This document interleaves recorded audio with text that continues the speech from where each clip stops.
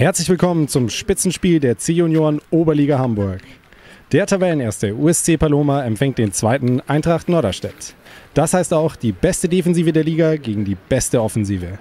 Die Hintermannschaft der Hausherren bisher erst mit drei Gegentreffern, der Sturm der Gäste schon mit 28 Toren. Und die zwei Top-Teams halten sich gar nicht erst lange mit vorsichtigem Abtasten auf. Die Gäste in Rot spielen von rechts nach links. Erster Freistoß des Spiels und das 1 zu 0. Frühes Führungstor für den FCE.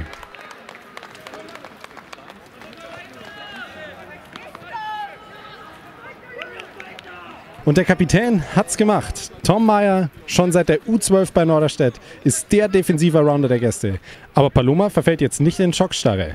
Der direkte Gegenzug. Toller Trick von Maurizio Carter. An allen vorbei und rein ins Glück. Die Antwort der Hausherren dauert nur Sekunden. Das ist der Ausgleich.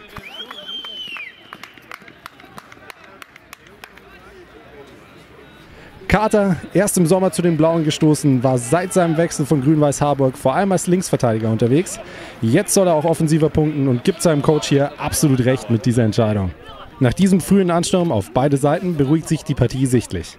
Paloma wirkt defensiv wie so oft sicher und sehr gut organisiert. Nur selten lassen sie den Gegner so zum Abschluss kommen wie hier. Aber da ist ja auch noch Schlussmann Philipp Gravitz. Kein Wunder, dass Paloma nur so wenige Gegentreffer kassiert hat. Nachdem sich beide Teams in der Folge eher belauern, springen wir damit auch schon in die zweite Halbzeit. Paloma erscheint erstmal weiterhin alles unter Kontrolle zu haben. Freistoß von Gerrit Grage und die dicke Chance auf die Führung.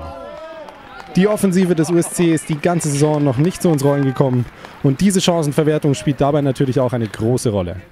Und es wirkt so, als wollen die Gäste das in der Folge bestrafen. Bei ihren schnellen Kontern schaffen sie es jetzt, die Paloma-Defensive auszuhebeln. Der Pass in den Strafraum, aber Gravitz!